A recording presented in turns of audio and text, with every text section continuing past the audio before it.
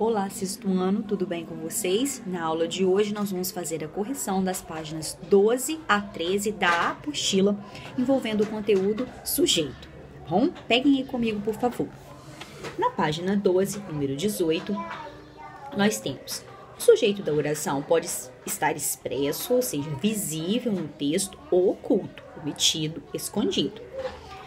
É, aí ele dá um trechinho e pergunta, na letra A, nesse período há várias orações. Orações nós sabemos que são é, enunciados envolvendo verbos. Qual é o sujeito da primeira? Zeca vai além. Quem é que vai além? Então o sujeito é Zeca, entre aspas. Na B, o sujeito de conta a história de pessoas está expresso no texto. Você consegue vê-lo? Não. Então ele diz: se não, explique se, mesmo não estando escrito, é possível descobri-lo. É possível reconhecê-lo pelo contexto, tá? E aí ele pergunta: qual é o sujeito da oração apresentada no item anterior? Zeca. Justifique sua resposta. Então, mais uma vez, né, pelo contexto, a gente consegue encontrar é, esse sujeito que realiza a ação.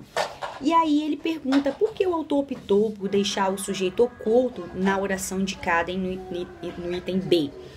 É, apresente uma hipótese, justamente para né, evitar a repetição. Se pelo contexto você consegue retomar e saber quem realiza a ação, não é necessário você repetir quem faz, né, quem realiza várias vezes. O sujeito de consegue traçar um retrato único e emocionante de regiões tão distantes está expresso ou oculto? Oculto. Indique o sujeito das orações e seu respectivo núcleo. Na letra A, nós temos o sujeito ele e o núcleo é o próprio pronome ele. Vamos à página 13.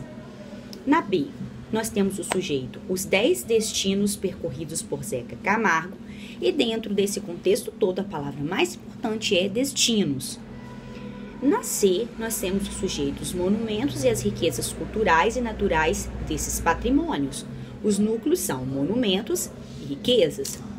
Quantos núcleos há nos sujeitos indicados por você na questão anterior? Nos itens A e B, 1, um, e no item C, 2. Qual é o sujeito das orações? Grífio. Na letra A, temos Xanxan. Na letra B, o estado de preservação deste lugar na letra C, Xanxan. Na letra D, um novo templo. E na letra E, eu.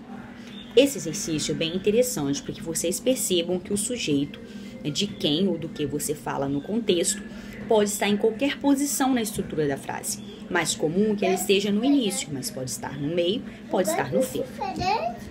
E para finalizarmos, temos o número 22. No terceiro quadrinho, os pontos de exclamação reforçam a ideia de desinteresse, tá bom? Então aqui a gente finaliza a nossa correção de hoje. Qualquer dúvida é só entrar em contato. Um beijo e até a próxima.